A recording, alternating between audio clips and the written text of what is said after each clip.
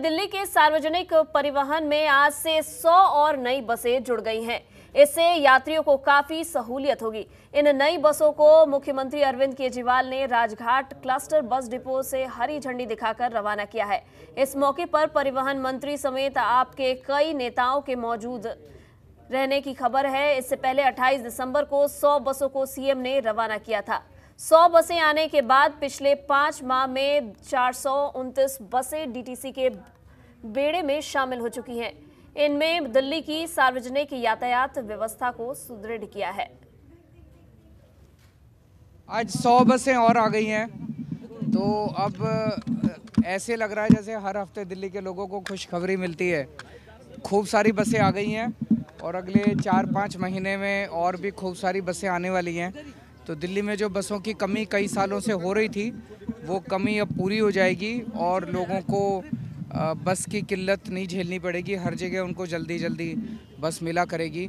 हमारा मकसद है कि दिल्ली की पूरी यातायात व्यवस्था को आ, बहुत जाए और उसी दिशा में ये सब बसें खरीदी जा रही है। तो दिल्ली के लोगों को आज मैं बधाई देता हूँ।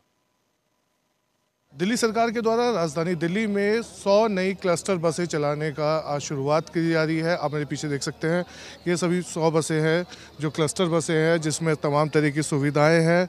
आज से राजधानी दिल्ली की तमाम जो सड़कें हैं, वहाँ पे ये चलाई जाएँगी। इसमें बसों में जो ख़ास तरीके के जो उपकरण हैं, वो लगाए गए हैं।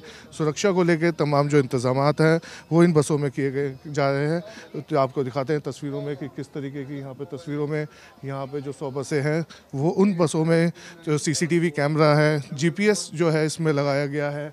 यहाँ पे आप तस्वीरों में देख सकते हैं कि जो सीसीटीवी कैमरा है, महिला सुरक्षा को लेके जीपीएस को लेके, यहाँ तमाम जो सुविधाएँ हैं वो इन बसों में मौजूद है। जो बस के ड्राइवर हैं उनसे पूछ लेते हैं, किस तरीके की सुविधा बस में है। सर, किस तरीके की सुविधा इन बसों में? इसमें जी सभी सुविधा हैं, लेडीज़ के लिए वो भी है, पूरा वो है जी, कोई वो नहीं, कैमरे वगैरह हैं। और बहुत सुविधा पहले से, काफ़ी सुविधा है जी। जीपीएस भी लगाया गया है? डबल जीपीएस है कैमरे में भी है लेस है वैसे भी है जी। हाँ जी। सीसीटीवी कैमरा कितने लगाए तीन है जी। हाँ जी तीन कैमरे तो सीसीटीवी कैमरा इसमें लगाए गए हैं तीन सीसीटीवी कैमरा है इस बसों में लगाया पैनिक बटन इसमें लगाया गया है।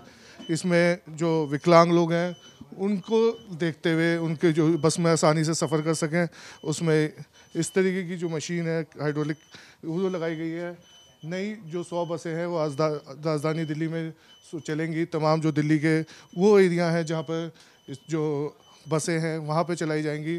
फ़िलहाल एक शुरुआत है, जिससे कि राजधानी दिल्ली में रहने वाले जो लोग हैं, उनको आसानी से सफ़र करना मिल सके। वहीं आज से राजधानी दिल्ली में जो नौ सौ नई बसें चलेंगी, उससे कहीं ना कहीं जो दिल्ली वासी हैं, उनको एक सफ़र करने में आसानी होगी। कैमरामैन सुमित मावी के साथ शिफ्तियागी जनतंत्र टीवी, दिल्ली।